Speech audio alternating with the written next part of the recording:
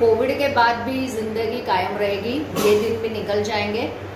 तो हम आपसे यही कहना चाहते हैं कि इन सारे, ये हम जो सारी कोशिश कर रहे हैं आपके बच्चों की पढ़ाई जारी रखने की, उसमें आप एक पेरेंट के हैसियत से हमें हेल्प कीजिए, अपने बच्चे को हेल्प कीजिए, क्योंकि कोविड के बाद की दुनिया में भी आपके बच्चे को जीना है, पढ़ना है, लिखना है और आगे बहुत तरक्की करनी है। मेरे भाइयों और बहनों आप के बच्चे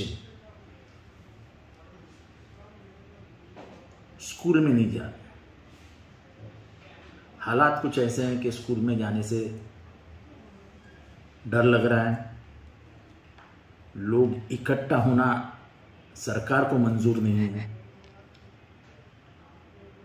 तो शिक्षा मतलब तालीम के क्षेत्र में थोड़ी दिक्कतें आ रही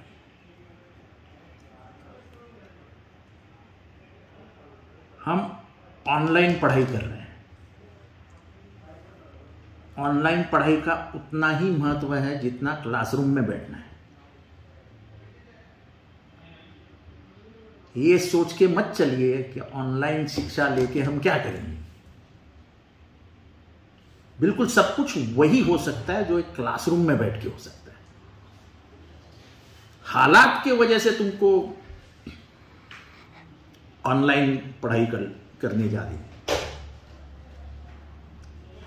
मैं आपको विनम्रता से कहना चाहता हूँ अगर बच्चे ऑनलाइन शिक्षा छोड़ देंगे तो फिर आगे जाके वो सीखेंगे माँ बाप मेहनत क्यों करते हैं कि मेरे बच्चे अच्छी पढ़ाई करें? कुछ सीखे, कुछ बड़ा बने। हालात की वजह से मजबूर है, ये मैं मानता हूँ। लेकिन अपना बच्चा,